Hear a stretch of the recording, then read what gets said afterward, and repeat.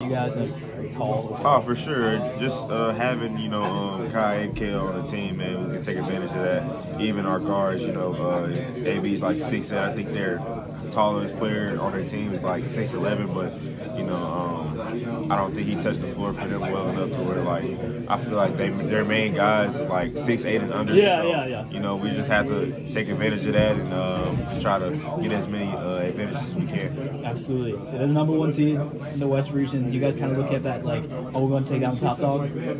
Nah, I mean, because we, we still feel like we the top dog. So Yeah. at the end of the day, man, we just got to go out there and compete. You know, um, we the seed, seed stuff matters, but at the end of the day, you know, I mean, that that really just goes out the window when, you know, you out there on the floor. So we just try to go out there and compete, play at a high level, and try to win games.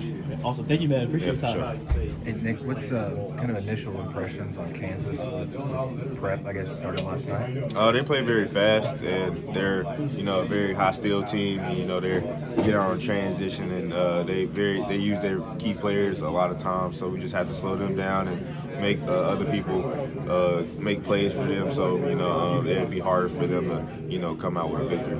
Does anything in particular stand out about them defensively? It kind of looked like their first game they really switched pretty much everything. Um, you know, I mean, SEC, I'm pretty sure like most of the teams in the SEC switched everything, so we- we'll be used to that. We just have to, you know, play smart and play with each other, and you know, um, just figure out ways we can score and uh, figure out ways we can get easy buckets for for our guards, especially for our bigs. Do you have any personal relationship with anybody on Kansas's team? I know you and Grady Dick were both highly rated recruits out of that class. Yeah, yeah, me and Grady is very, very, very close to that team. Uh, me and Bobby, I've been knowing Bobby since like fifth, sixth grade, seventh grade. Uh, he's a good friend of mine. Um, KJ, I've been playing against since I was playing against him since uh, you know I was young. And even my visits, you know, I made relationships on my visits, and it's gonna, you know, it's gonna be a very, very good game, and I'm very excited to play. And uh, just see what happens. What stands out to you about Grady Dick? Obviously a, a prolific shooter, but what else about his game impresses you?